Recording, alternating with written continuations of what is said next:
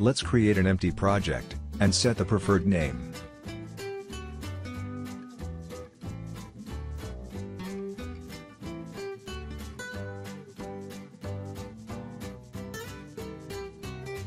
Firstly, let's open the I.O. data server to create two new tags variables, that will be assigned to the historian. From the tags list, use the right mouse button to insert a new tag. From the properties window, we can set the name and the variable's type. Repeat the same operation for the second tag.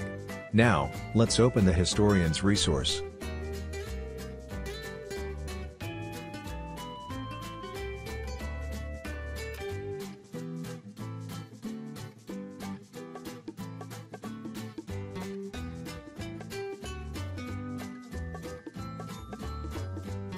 Using the right mouse button, let's create a new historian object.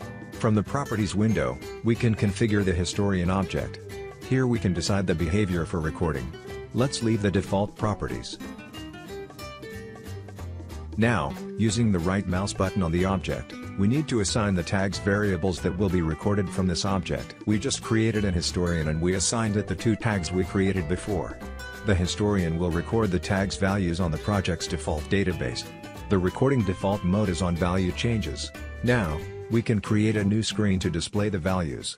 We can set the major properties of the screen when creating.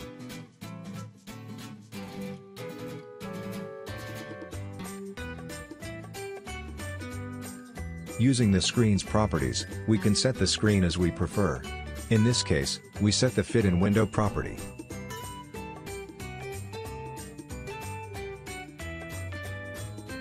Now, we are going to insert into the screen the sliders objects, that we'll also the set values into our variables.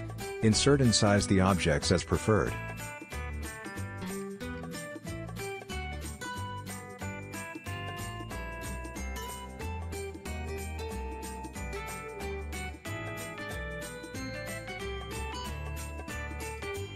Let's use the copy and paste commands to duplicate the object. From the tags list, we are going to select the tags, and we'll assign to objects using the drag and drop.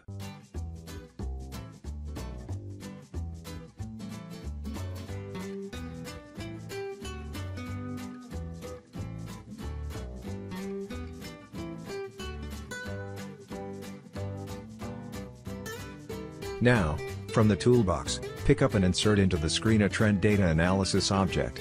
Insert and size the object into the screen.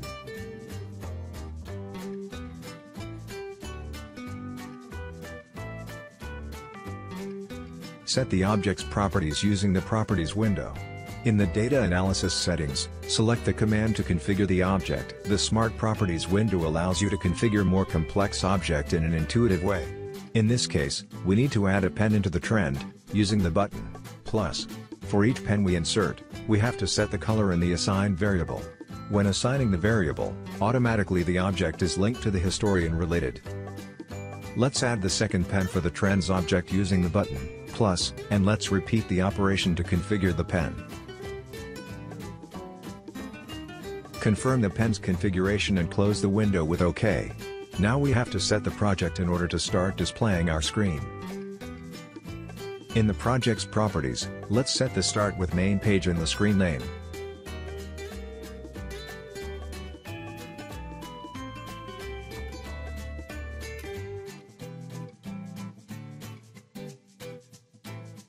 Well done. Let's save the project and run the runtime execution.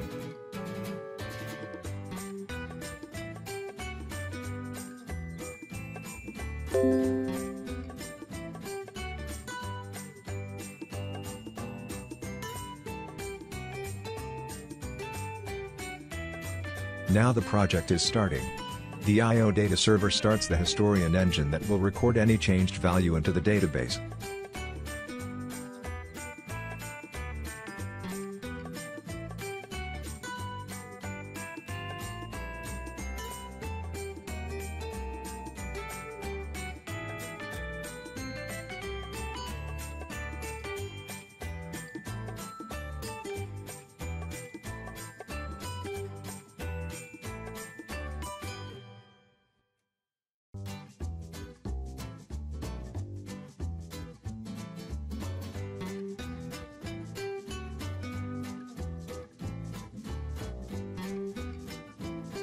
When in stop mode, we can use the object's toolbars to make analysis, filters, printout, and other commands to better analyze the historical values.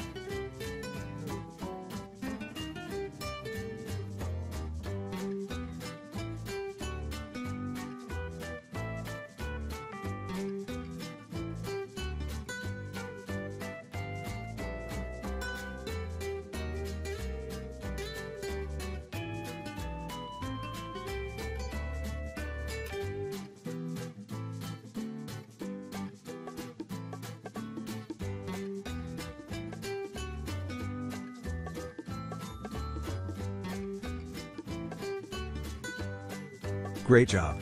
We've finished. Now we can come back to the editor stopping the runtime execution. Alt plus F4.